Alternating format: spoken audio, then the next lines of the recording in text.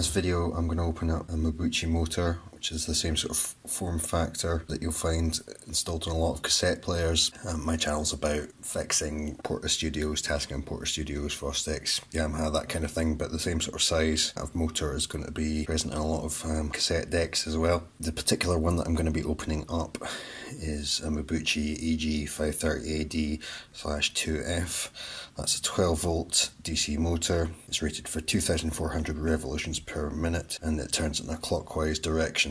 Bit of uh, supplementary information relevant to those of you looking at my channel in order to fix cassette multi-track recorders. Here's two transports. This one is from a 44 Mark II and this one's from a Porta 7.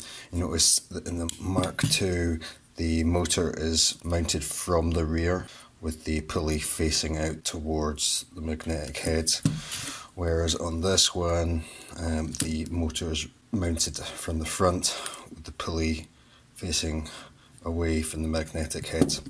With this kind then your motor is going to turn in a counterclockwise direction and with this one it's going to turn in a clockwise direction. Both of these operate at up to three and three quarter inches per second. If your motor is rated for 2400 RPM that's not going to be fast enough to cope with three and three quarter inches per second. This motor, because it's clockwise, meaning it would face forward like that and is only going to do 1 and 7 8 inch per second. This would be an adequate substitute for a motor on Porta 1, the original Porta 1, late 80s large black one with battery compartment as opposed to they made a Porta one later on which was like a little pared down 414. We'll discuss in due course what differences inside here contribute to these being 2400 or 3200 RPM as a maximum speed. What I found after opening a few of these is a lot of the parts are actually the same and the differences certainly in terms of the uh, maximum speed it'll take are to do with this little printed circuit board inside and the components on it. Okay, first step to disassembling this is to get this metal end cap off the motor. Basically we're going to be shoving a screwdriver or some other tapered implement into that space. If I were to go like that and just start turning there, you can see how easy it would be to snap this little protruding tab where the four input wires go. So what you want to do is push pretty deep in there so that any pressure is going against the internal part of this PCB which is much more robust. in fact what I've found before is if I just push in far enough that's going to pop off.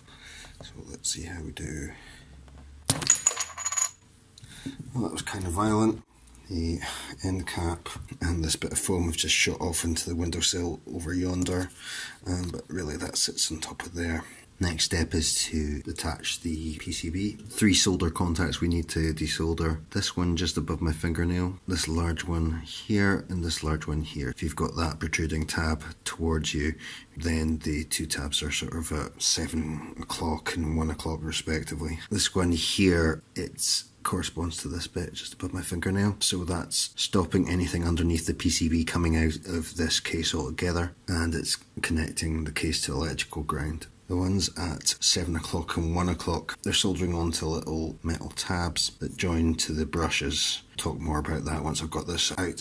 What I tend to find works well is to introduce some fresh solder and then heat it up again and suck it away with a solder pump and then get the remnants away using desoldering wick.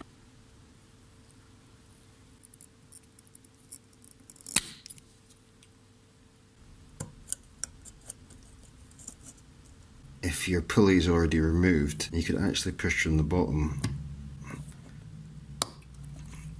and the whole thing would come out. I don't recommend you do that. For repair purposes, you probably want to leave that like that with all the parts from this plastic cap and below still inside the chassis of the motor. In this video I will be removing those just to give you a better idea of what's inside but if I jump ahead quickly if I actually take that out getting this part to sit inside these brushes nicely after that's been removed can be tricky and you can end up warping those brushes and you've sort of rendered the whole motor useless. If you're going to repair these then probably what you're going to find uh, most of the time is this chip here or the equivalent in whatever circuit board you're looking at has overheated. Um, so you'll want to find a replacement for that, solder it back in, and then reassemble it without taking that out. It's for demonstration purposes, so you've got a better understanding of what's inside here. This plastic cap comes out. There's a little metal, what we call that, washer in there into which the end of this part sits. Um, two brushes. We've got a fixed magnet inside this metal case and this part which will now a little bit of resistance obviously because that's a ferric metal and that's a magnet.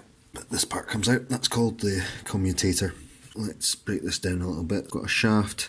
That part there is going to sit in that little washer there here you can see that this is split into three segments. Either one or two of them at any, any time is going to be in contact with one or in contact with both brushes. Each one of those three contact segments is attached to one of these three armature windings. These parts here don't actually make contact with the fixed magnet. It's engineered in such a way that there's a tolerance anyway, but even if I were to wiggle it like that, the magnetic force is pushing inwards from all directions, and um, that's preventing any contact between these metal parts. Let's talk a little bit about roughly what these circuit boards inside these kind of motors are doing why would you have a 12 volt motor that turns at 2400 revolutions per minute and another 12 volt motor that turns at 3200 revolutions per minute? Surely the voltage is proportional to the speed. Well, the other two inputs are the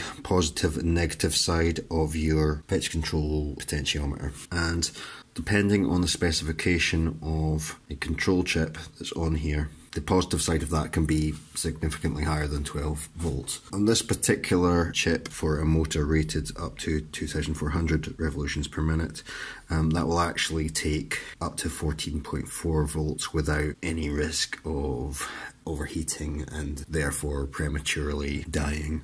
The equivalent chip on the circuit board for 3200 revolution per minute motor, this one will take up to 18 volts and that's got a hole in the back for heat dissipation. You basically there's a brass there that connects to the end cap of the motor and that's how it gets rid of some of the extra heat that's generated all the other components are kind of a supporting cast for one regular. And so it's managing the positive voltage that's going to the positive brush. One of the main reasons that it's doing that is remember that there's three contact surfaces here relating to three um, armatures, three electromagnets here. An electromagnet basically means that if you put a electrical current through a coil of wire, it'll become a magnet. And so if we think about one of these contact segments, it's in contact with the positive brush, that gets magnetized and so this turns and it keeps turning until it hits the negative brush and then the charge drains away through the negative brush. It's important that there are three of these rotors and only two brushes because with three rotors then at least one of them is going to be in contact with one of the brushes at any time and that keeps the momentum of the commutator inside here spinning. However, because we're constantly fluctuating between there being one and then two and then one and then two and one and then two of these three electromagnets being activated, that creates a very rapid fluctuation in the rotation speed. Then in an audio application, if you imagine that this is basically turning the pulley, which is turning the capstan belt, which is turning the capstan, then you're basically putting sort of like warble onto the um, audio that's being recorded. So through electrical engineering magic, which I don't necessarily completely understand myself, but I don't think it's important from a repair point of view that you understand either. You can do your own research, as well as allowing different 12 volt motors to turn at different speeds. One of the things that this PCB is doing is compensating for that slight fluctuation in rotation speed and therefore pitch. So if you get a motor like this and it's not responsive at all, it's probably not a mechanical problem, you know, unless something actually got in and gunked up these brushes to the point where there was no electrical contact between that and the commutator, unless it had been damaged in such a way that actually, like, I don't know, this magnet had got cracked and then it was actually preventing these from moving. The likelihood of there being a mechanical problem in a motor like this seems pretty low to me. Um, what probably causing it is your motor control over time being hot has kind of damaged the little microscopic inner workings of it and it's maybe working badly, in which case there's a warble, or if it's shut down completely and then you may have an unresponsive motor. I do like to be transparent with people about what I do and don't know. I'm not an electrical engineer by qualification, and although I've spent significant time and made some money refurbishing multi track recorders, I've never been employed by anyone else as a technician or anything. So please do your own research, but I hope that seeing this opened up and a little kind of layman's discussion of what's happening in here has been helpful for anyone who's trying to diagnose and fix a, a cassette recorder.